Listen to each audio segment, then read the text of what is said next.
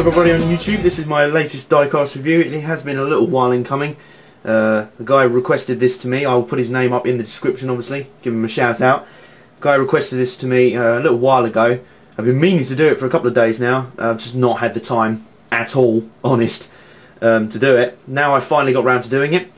You can see who I focused on on my NASCAR Heat game. I'll give you a clue as to who it is, or whose car it is I'm reviewing anyway. Guys requested it. It's one of the first 2009 COTs I got actually. You can see it there. Focused on the 24 car. And that will be the subject of tonight's review. There it is. Let's get it focused. Jeff Gordon's 2009 24 Firestorm Chevy. Hendrick Motorsports obviously. Now, I've got to start straight off, right off the bat. I respect Jeff Gordon. He's not one of my favourite drivers, but I don't hate him at all. He's a very good driver, obviously. He's won, how many titles is it? Quite a few.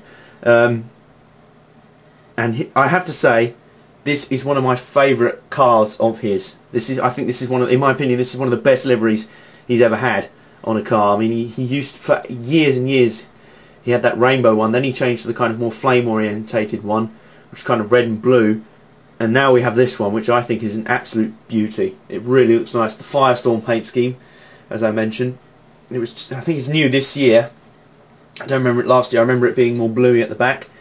And as you see it continues the tradition of his cars where it's two separate uh, main colours which is the kind of red on the front and a separate colour on the back. And as you see here it's more kind of I think it's kind of a dark green or black almost on the back. So let's take a look at it here you see the front with the kind of the beautiful kind of yellow and orangey fading into the red like a proper flame livery. And I think that's done really nicely the kind of grad gradual fade from yellow through orange and then into this kind of dark red. Of course the DuPont logo across the hood. Uh, this car doesn't suffer too much thankfully from the Action Kids series misprinting logo syndrome. So as you can see the front grills are all lined up as well as the Impala SS badge, the lights and the Chevy emblem. They're all nicely lined up. The side of the car, this is one of my favourite views of it to be honest. As you see all the traditional logos as you get. Clever little Pepsi logo right there, looks very nice with the modern kind of font on it. It's the more modern Pepsi logo. Of course the 24, the iconic 24 number you'd have to say. DuPont again and the National Guard logo on the back. Snuck on there. And on the back, it's www.pa24.com with the flame stretching around the back. It's almost this rear section is almost like a continuation of the front bit with the flames there. There's a DuPont logo on the deck lid and more tiny little DuPont logos on the spoilers. Um, as a paint scheme, it is absolutely gorgeous and I think regardless if you like him or not, everyone should have this diecast in their 2009 collection. It's very common as far as I know, so it's not like a rare one like Ryan Newman's uh, 39 car or something like that but it is a really attractive looking car and it's, it's one of those ones that it's really it's really good to watch it race you know because it, it, really is eye-catching and quite stunning. But um, the sad thing is for me I pounced on it straight away when the Kid Series one came out. But I have to say I've been spoilt recently I've been getting a bunch of hood opening Elite Series cars. Though they are a little bit extra in terms of money they are worth it. And this one is available as a hood opening car as well this paint scheme. If you can get it as a hood opening one, I absolutely 100% recommend you do that because the detail level is mm, so much higher, it feels much better. I mean, here's a brief comparison. There's my 2008 special livery Pepsi Jeff Gordon car I have. Straight away you can see from a distance the extra detail on the tyres. And if I do it, that's a little bit better. There's a bit more of a contrast. As you see there on the wheels, instantly straight away you can see they're a bit more detailed and there's no see there the sil the obvious kind of silver axle thing sticking through. Tiny little details. The grills are painted a little bit more detailed. Uh, there are so many tiny details. Obviously the engine opens. Hang on.